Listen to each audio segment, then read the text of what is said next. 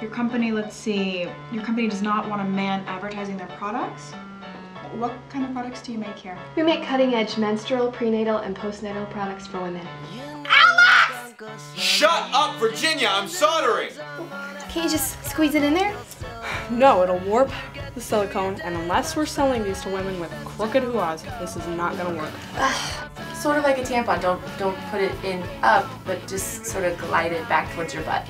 A useful pregnancy test keychain. Why are you having April redo the videos? It already feels dry against my skin. Are they all like this? I want to see him demo the uh, double breast pump bra? Engage. The, uh, Well, I'd like you guys to meet April. She is my sorority sister from Pi Kappa. You hired April Bigler without talking to me about it. I hired everyone without talking to me about it. Yeah, but she's insane, and she made my life a living hell. Alex, are you not willing to work with April? You've lost a lot of weight since college. It has been a long time. No successful product ever goes on without a competitor for long. It's just the nature of business. I just got a call from Equal Opportunity. I just have some concerns I want to see addressed.